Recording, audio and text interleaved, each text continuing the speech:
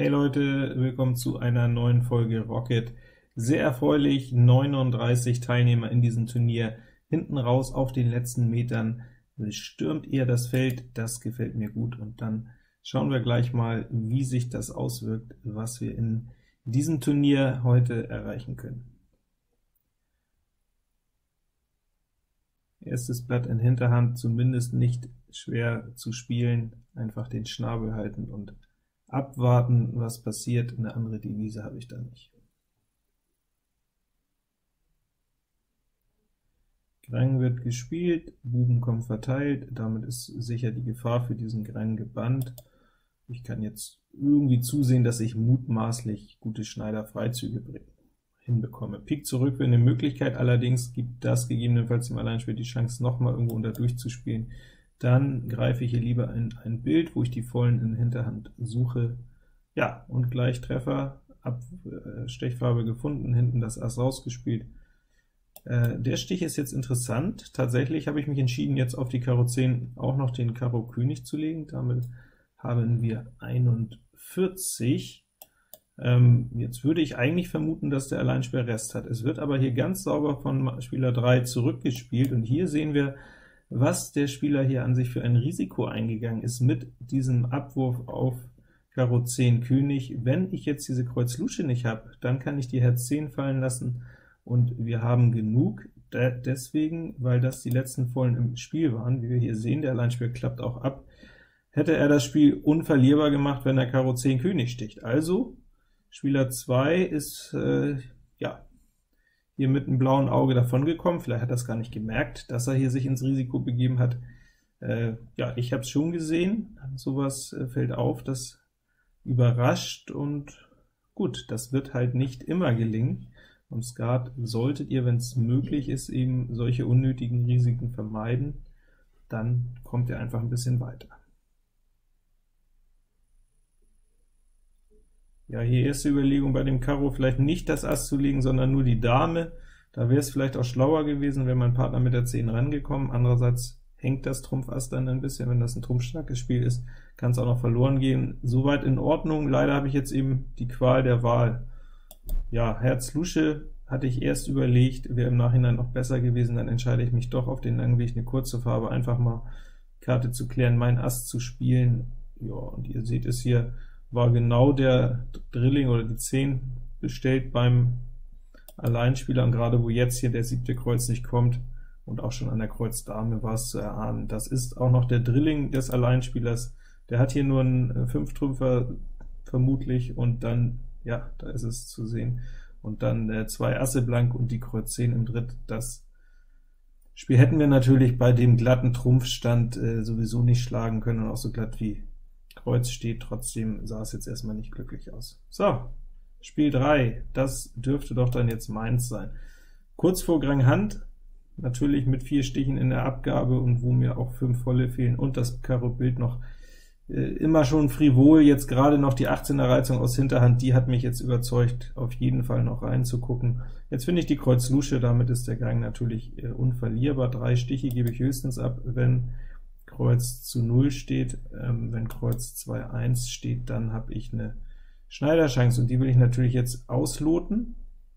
Ich spiele jetzt äh, nicht die Herz-Lusche direkt raus, könnte man aus Schneider-Gesichtspunkten auch versuchen, bedeutet dann allerdings, dass ich gegebenenfalls zu kurz komme, um mir beide, äh, um mir die letzte Kreuz Lusche hochzuspielen. Das heißt, da könnte ich dann tatsächlich noch einen vierten Stich abgeben. Deswegen erstmal unter durch, sitzt auch 2-1, Schneiderplan noch intakt, da kommt das Herz Ass, und leider wird da direkt die 10 reingeworfen, also die Bengel haben es direkt geschafft, den 21er Tisch auf, Stich auf den Tisch zu legen. Gut, dann geht sie weiter, die wilde Fahrt.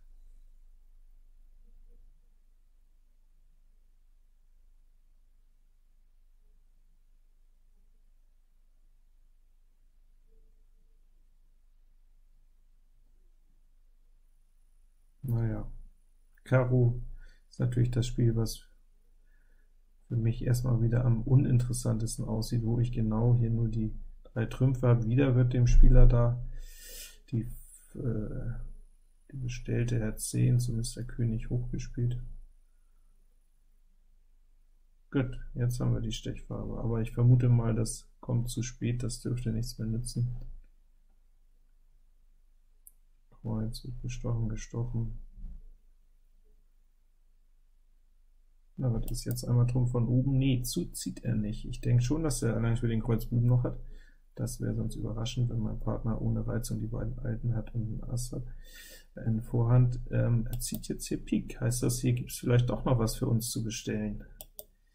Ja, wenn er jetzt tatsächlich äh, nicht das Pik Ass gehabt hätte, der Alleinspieler, wenn mein Partner hier schnippeln kann mit dem König und dann Trumpf reinschieben, um dann mit Pik Ass Kreuz als Rest zu haben, das wäre es gewesen. So sieht's dann äh, wieder schlecht aus, denn äh, und das ist hier die richtige Idee von meinem Partner. Er spielt Trumpf in der Hoffnung, dass der Kreuzbube bei mir sitzt, dass die beiden Buben hier vertauscht sind, dann hätte ich danach noch den 21er Stich in Kreuz spielen können, sprich Kreuz 10, Kreuz Ass und äh, wir hätten das Spiel gewonnen. Äh, wenn mein Partner jetzt Kreuz Ass spielt, ja, ein Stich von mir die Kreuz 10, dann wäre es auf keinen Fall gegangen. Also die richtige Idee, auch wenn wir dadurch jetzt den Stich weniger machen, den Pik König nicht mehr kriegen, ähm, ja, letztendlich, ob wir eben äh, 69 oder 9, äh, ob der Alleinspieler 69 oder 79 gewinnt, das ist ja äh, egal. So, Spiel 5. Mein Spiel würde ich sagen, Kreuzbube, Karo Bube, drei Asse, muss ich reizen, bekomme die 24 aus Hinterhand, die wird mich jetzt hier aber nicht abhalten und nicht erschrecken. Wäre mir natürlich, ja gut, was wäre mir lieber, ist egal, ich gucke rein, da kommt doch eine Verstärkung mit der Pik 10, eine sehr gern genommene Verstärkung.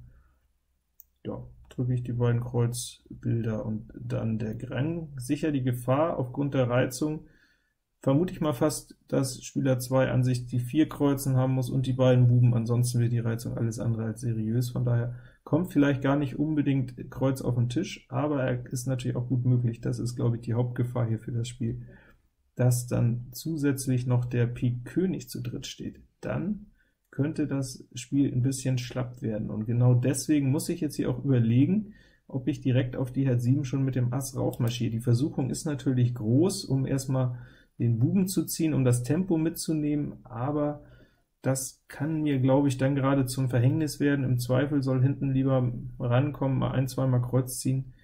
Ähm, ich schnippel hier mit der Dame, und da seht ihr, es war genau richtig. Vorhand hat noch König 10, ich mache den Stich. Das war jetzt natürlich ein sehr wichtiger Stich für mich, damit ist das Spiel dann schon gewonnen.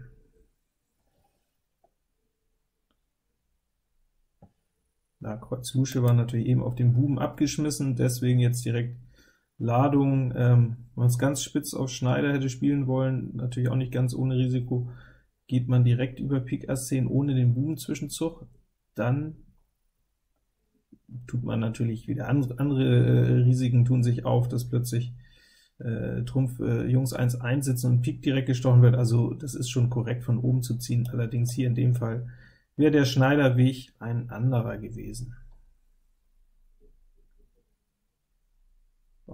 So, ich mal mit breit geschwollener Brust und bin am Tisch vorne.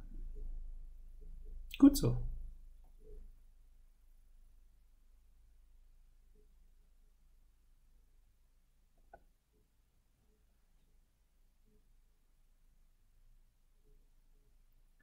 kann schon mal spoilern, es kommen gleich auch noch ein paar ziemlich interessante Spiele. Dies hier ist jetzt natürlich eher wieder ein bisschen Schonkost, man könnte fast sagen, ein bisschen öde. Gut, 18 geboten von meinem Partner, deswegen komme ich Karo raus. Ja, Volltreffer hat er nicht, bleibe ich hier am Stich. Er sticht auch nicht, das heißt entweder zwei Buben oder er hat gar keinen, meine Vermutung zumindest, so oder so nach diesem Stich kann ich jetzt sehr gut den Karo König bringen. Wenn er gar keinen Buben hat, kann er noch mal irgendwas abtragen. Wenn er zwei Buben hat, sollte er doch stechen, aber er hat offensichtlich keinen Buben.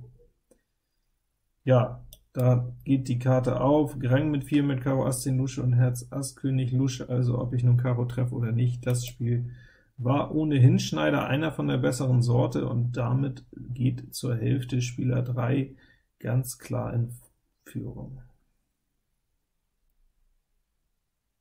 Das scheint noch nicht alles zu sein, denn er reißt das nächste Spiel auch an sich.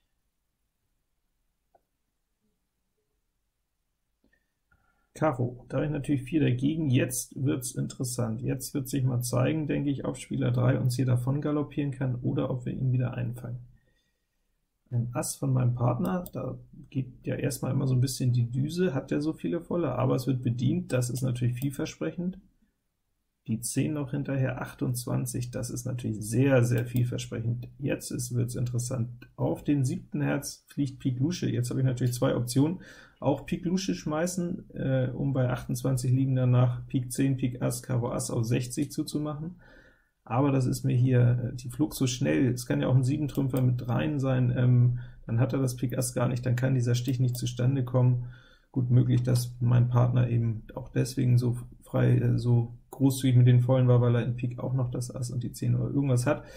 Also erstmal Kreuz Ass jetzt auf 39, da ich das Trumpf Ass hier noch zu viert habe, bin ich jetzt ziemlich optimistisch, dass wir das Spiel schlagen. Und jetzt, wo er von oben zieht, würde ich sagen, auf jeden Fall wird ja, tatsächlich. Das ist natürlich bitter für Spieler 3. Er hat hier einen 7-Trümpfer mit rein, wird seine drei Luschen gut auf 39 los, normalerweise erträglich, aber natürlich unschön, wo ich jetzt auf den vier Trümpfen stehe. Da kann er sich nicht wehren, da bekomme ich natürlich das Pik Ass, und damit ist das Spiel im Eimer.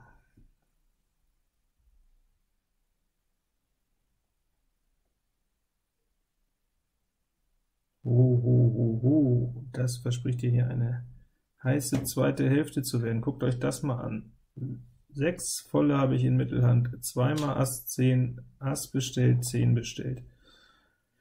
Also im Rocket geht das Ding los, sage ich jetzt mal. Im Turnier, in einer anderen Situation, im Punktspiel, da wäre ich, denke ich, schon lange, lange ausgestiegen, da wäre das Risiko nicht vertretbar, auch wenn du als passionierter Skatspieler das Ding einfach gerne mitnimmst. Das willst du gerne ausprobieren, so ein Spiel, also ich will es immer haben, das ist äh, das Salz in der Suppe, gerade noch, wo mir hier allerdings Karo Ass fehlt, hätte ich in Turniersituationen, äh, die über einen längeren Zeitraum laufen, glaube ich, keine Argumente hier 24 noch zu halten, da könnte ich höchstens die 0 ableuchten. Jetzt kriege ich 48 geboten, also Spieler 2 hat Buben, sage ich mal, aber reicht das? Ich halte die 48. Äh, der eine oder andere sagt, ja Mensch, äh, wenn man hinterher verliert gegen eine hohe Reizung, was, soll das auch, bist ja selbst schuld. Ich sag, wenn einer so hoch reizt, dann hat der vielleicht viele Buben, ist aber besser, als wenn zwei Mann niedrig reizen. Wenn er drei oder vier Jungs hat, ist doch klar, dass er hoch reizt, heißt nicht, dass die Farben nicht laufen. Also ich ziehe das Ding jetzt durch. Bei 50 komme ich ran. Jetzt mal bitte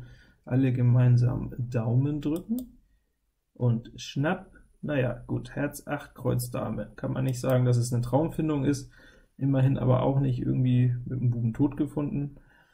Äh, gut, lässt mir jetzt relativ wenig Optionen, würde ich mal sagen. Ähm, Herz 10 oder Ass 10 ist jetzt zu viert, der kann nicht laufen, Karo 10 hängt hier auch so ein bisschen rum.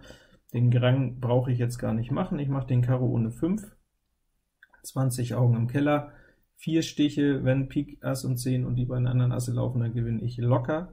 Wenn mir da irgendwas von umkippt, dann wird's kritisch. Pik 10 im Abstich kann ich vielleicht noch verkraften. Gut, schauen wir einfach mal, was passiert.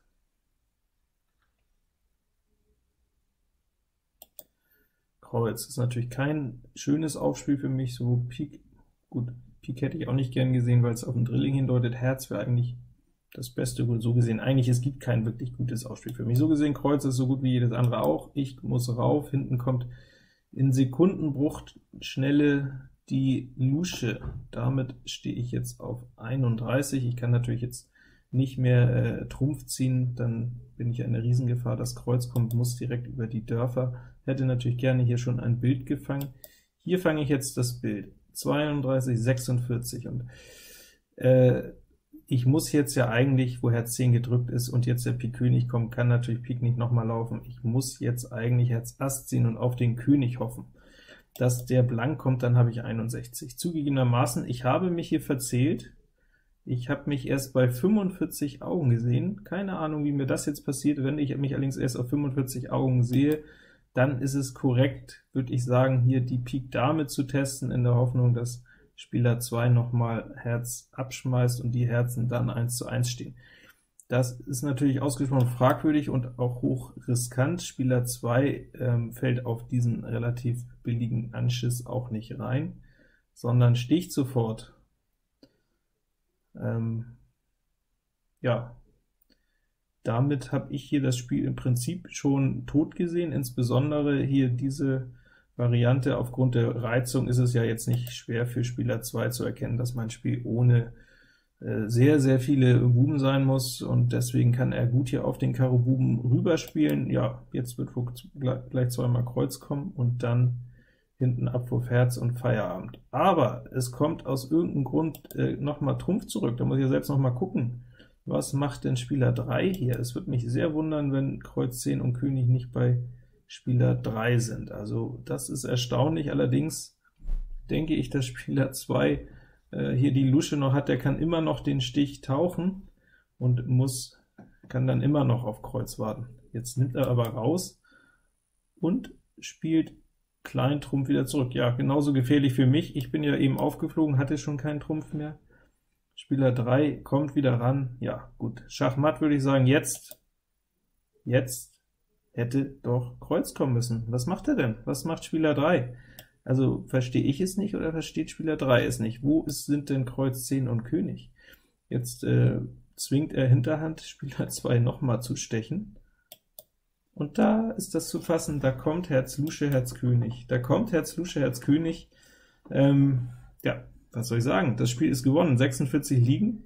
Das Ding muss ich rausnehmen. Ich war tatsächlich hier so durch den Wind, weil ich die 45 gezählt habe, dass ich hier jetzt mir noch ernsthaft Gedanken gemacht habe, ob äh, es korrekt ist, ob es noch einen anderen Weg gibt, aber es kann ja keinen anderen Weg geben. Die Herz 10, die ich äh, möglicherweise in geistiger Umnachtung hier auch noch irgendwo gesucht habe, die hatte ich ja gedrückt, also es gibt keinen anderen Weg, und zum Glück habe äh, ich das dann auch festgestellt und habe rausgenommen und abgeschenkt, Gewinn hier mit 61, ja das war natürlich ein Geschenk, das war absolut ein Geschenk. Ich habe das Spiel, steht eigentlich auf Sieg, wenn ich bei 6, wenn ich die 46 zähle, dann ziehe ich auch das Herz Ass, dann steht es auf Sieg. Ich verballer es, indem ich die Pik Dame zwischenziehe, mache das Tor, äh, das Scheunentor sperrangelweit auf, Spieler 2 macht alles richtig, Spieler 3 war durcheinander, der hatte vielleicht gerade äh, nebenbei den Fernseher noch laufen, das Radio, oder er war sonst wie abgelenkt. Mein Glück. Ja, das motiviert natürlich auch hier das nächste schlappe Spiel 3 Hole Asse Karo Buben in Vorhand auch noch mal ein bisschen mitzureizen. Ja, Karo Dame König ist jetzt keine Traumfindung, ein Karo Voller dabei wäre schon ein bisschen netter gewesen. Jetzt mache ich natürlich den 5 Trümpfer. 5 Trümpfer, 3 Seitenasse in Vorhand, gut, hört sich nicht schlecht an, allerdings 5 ganz, ganz schlappe Trümpfe. Also das Spiel braucht, wenn möglich, einen gleichmäßigen Trumpfstand. Deswegen schaue ich dann auch schon sehr genau jetzt, wie die Trümpfe fallen, wie schnell sie fallen, was mir das verrät. Ähm, mein Eindruck hier, wo jetzt die beiden Alten noch fehlen, die Trümpfe sind mutmaßlich verteilt, unwahrscheinlich jetzt, denke ich zumindest, dass Spieler 3 mit den beiden Alten genau nur 23 gereizt haben sollte. Spieler 2 wird nicht die drei Alten haben und gar nicht gereizt. Die Erkenntnis äh, sagt mir, ja, stechen sollte ich ja sowieso, Kreuz ist kein guter Abwurf, die Frage ist dann höchstens Trumpf weiter oder ähm, Kreuz oben unten, ähm, ist aber viel gefährlicher, Trumpf weiter ist hier solide und dann hoffen, dass die Trümpfe kommen, sieht gut aus. Damit ist das Spiel dann gut, dann kriege ich sogar noch Herz 10 hier. Spieler 2 hat dann auch schon scharf auf Sieg gespielt, der Sieg ist für sie jetzt aber nicht möglich. Eieiei.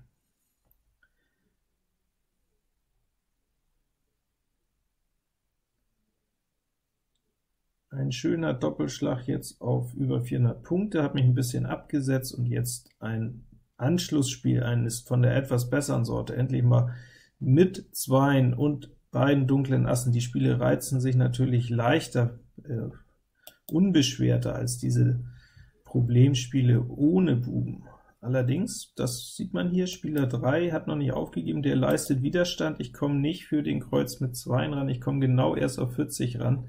Das Spiel ist natürlich zu stark, um es wegzugeben, aber es ist jetzt auch sehr grenzwertig. Was ist denn jetzt besser? Rauf aufnehmen zum Grang oder den Kreuz Hand? Der Kreuz Hand mit den beiden Herz Luschen gefällt mir auch nicht so. Der Grang, ja, was hat er gereizt? Hat er Karo ohne Dreien? Hat er Herz Hand, Karo Hand? Ich nehme jetzt plötzlich dann doch auf beherzt zugegriffen und äh, nichts gefunden. Keine Verstärkung, keinerlei Verstärkung. Damit bleibt Plan B für diesen Rang. Es gibt immer noch Plan B und Plan C. Plan B ist erstmal, die Buben kommen verteilt. Plan C ist, ich werde irgendwo eingespielt. Eingespielt will ich schon mal nicht. Ähm, also sollte, wenn es geht, jetzt Plan B greifen. Wenn Plan B nicht greift, kommt noch äh, ja, es gibt immer noch ein paar Nebenwege, kann es immer noch passieren, dass ich trotz Jung in einer Hand gewinne, wenn ich am Ende an Kreuz 10 rankomme. Ist aber nicht nötig zum Glück, so ist es ein bisschen äh, schon dafür die Nerven, die Buben kommen, damit geht die Flöte durch, jetzt kriege ich das Pflichtbild Kreuz König noch als Dame, gewinne mit 67 und stehe plötzlich da, zumindest am Tisch, wie ein junger Gott naja, 500. Auf jeden Fall ein gutes Ergebnis.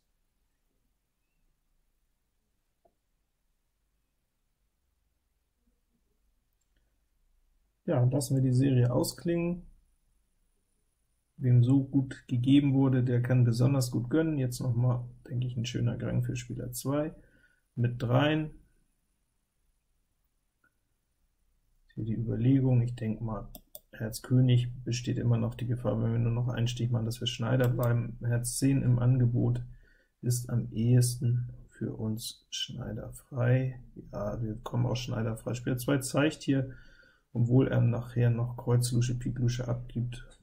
Okay, das hier zu zeigen, bringt jetzt nicht so viel. Die Stiche müssen wir doch so oder so noch durchspielen. Gut.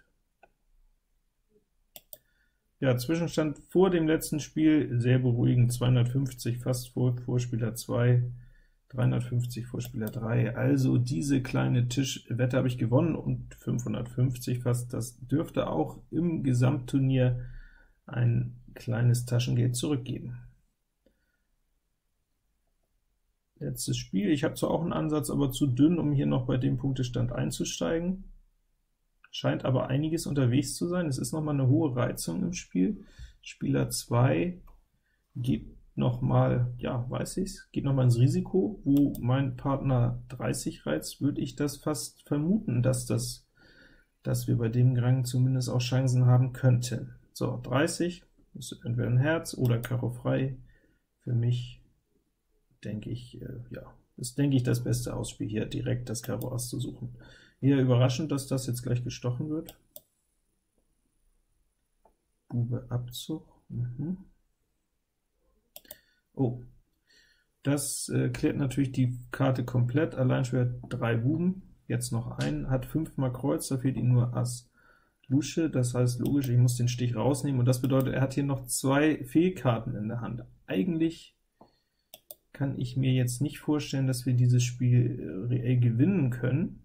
Das wäre zumindest insofern erstaunlich, als Spieler 2 äh, dann ja hier auf das Karo Ass, wo er offenbar die 10 im Keller hat, sonst hätte mein Partner eben nicht Pik Ass, sondern erstmal Karo 10 gewimmelt. Dann hätte er natürlich seine Faulen abwerfen können auf günstige 11 Augen. Jetzt muss ich natürlich den Zwischenzug machen. Hatte jetzt hier schon die Herz 10 rausgezogen, nach dem Motto, wenn ein Herzabwurf und mit einem Pik Ass Ladung, äh, mit Pik 10 Ladung kommt, dann müsste ich scharf die Herz 10 spielen. Jetzt aber, wo wir auf 37 stehen, ähm, und das Herz Ass weg ist, bringt es natürlich nichts mehr, die Herz 10 zu spielen. Jetzt bietet sich plötzlich, macht sich ein anderer möglicher Siegweg auf, wenn mein Partner noch den Pikstich mit der 10 macht und vom Alleinspieler ein Bild kommt. Deswegen sofort Wechsel auf die neue Situation. Einschub, Zurückschub hier in Kreuz, um dann die Herz 10 zu versenken. Und das hat geklappt. Es hat geklappt, 61 für uns. Da hätte Spieler 2, glaube ich, die eine oder andere Möglichkeit in dem Spiel gehabt. Er hätte ja eben zum Beispiel auch noch die äh, Kreuz 8 tauchen können. Das ist natürlich ein sehr schwieriger Zug, dann muss er schon ahnen, dass ich jetzt die Herz 10 habe, da könnte er sich gegen eine andere Verteilung auch noch tot spielen, also das ist vielleicht nicht unbedingt zu erkennen, aber im Aufschlagstich, wo er Karo 10 sogar noch im Keller hat, da muss er doch auf das Karo Ass seine Pik Lusche einfach fallen lassen, ähm, unwahrscheinlich, dass dann 6 mal Karo sitzen und hinten gewimmelt wird, also wird er das Ding typischerweise auf, auf 15 Augen los. Gut, auch dann auch dann können theoretisch natürlich noch auf den stehenden Pik König 25 äh, fallen. Das Spiel ist damit auch noch nicht hundertprozentig gewonnen. Ich glaube aber, es wäre ein besserer Zug gewesen, denn so kommt er jetzt aufgrund der Trumpfkürze, äh, kann es gar nicht mehr anders spielen. Er muss sofort die, die Kreuzen klären und äh, kann das Karo-Bild nicht mitnehmen. Äh, ja, er war jetzt verraten und verkauft, Rückschub Kreuz und dann Ladung haben wir, haben wir ihm dieses, diesen drei Stiche Abgabegrang noch kaputt gemacht und ich komme mit 5,88 aus der Liste raus. Also hat hingehauen, hat hingehauen, ich bin begeistert. Schauen wir doch diesmal einfach noch mal, wo es so richtig gut gelaufen ist zum Abschluss auf das Turnierergebnis. Was gibt es denn beim Rocket Turnier mit 588. Und da können wir sehen, für den vierten Platz hat es gelangt, nur kann man sagen, aber Blackman City mit 888, das ist natürlich ein Wahnsinnsergebnis auf 12 Spiele und auch Chantal mit über 800 Punkten, also mit dem vierten Platz muss ich mich zufrieden geben, aber auch dafür gibt es ein wenig was zurück. Und ja, hier seht ihr 39 Teilnehmer, das Turnier boomt wie eh und je, wunderbar. Dann hoffe ich mal, ihr hattet Spaß. Mir hat die Liste selbstverständlich Spaß gemacht. So oder so sehen wir uns hoffentlich bald beim nächsten Video, und bis dahin wünsche ich, wie immer, gut Blatt.